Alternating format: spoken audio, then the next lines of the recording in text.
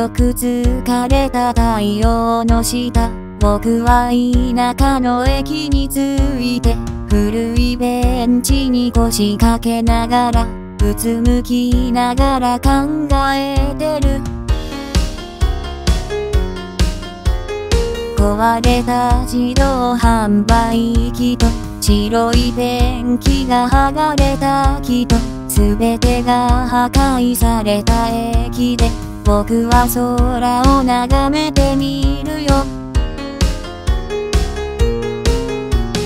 遠く広がるひまわりが全てのものを再生する。僕の心にひとかけの生きる希望が湧いてくる。空き地に僕の心取り戻す。壊れたこの駅の隅で僕は一人目を閉じる。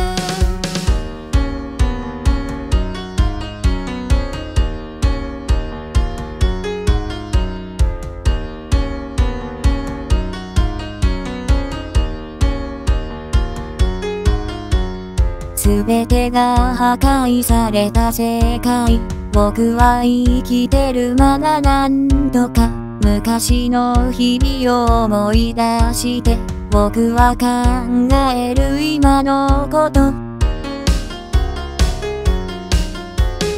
この世界を眺めていると全てが虚構だったと知る。